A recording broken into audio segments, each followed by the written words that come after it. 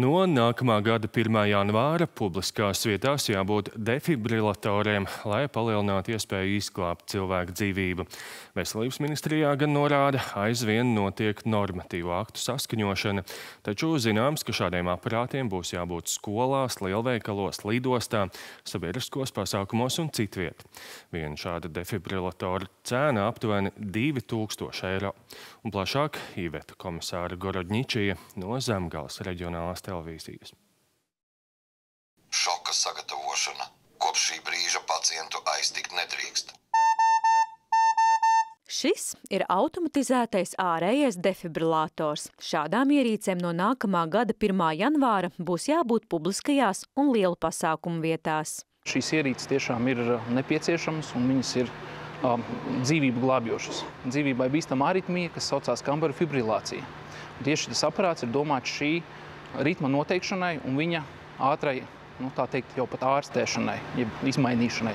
Neatliekamās medicīnas brigādes sabiedriskās vietās gadā vidēji veids 450 reanimācijas. Katrā trešajā gadījumā nepieciešama defibrilācija. Valdība pirms gada maijā pieņēma lēmumu, ka sabiedriskās vietās jāuzstāda šādas ierīces.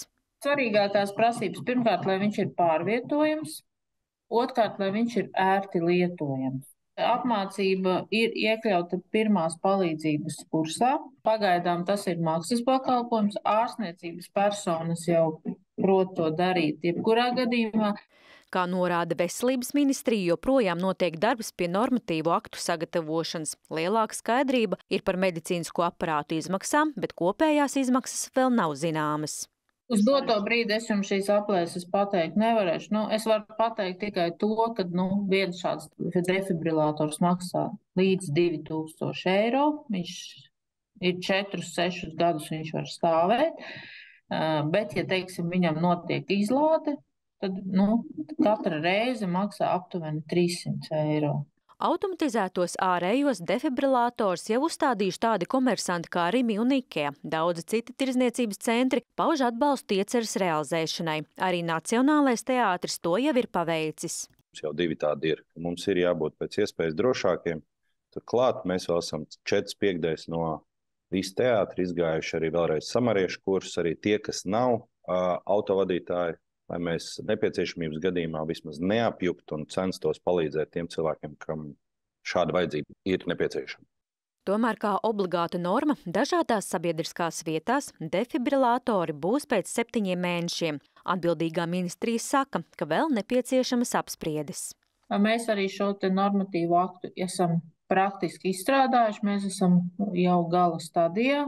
Un šis ah, normatīvais dokuments ies uz sabiedrisko apspriešanu. Mums sākotnēji šie būs publiskas vietas, tie būtu lielveikali, dzelzceļa stācijas, lidostas, un arī ir plānots tajos pasākumos, kur ir liels apmeklētāju skaits.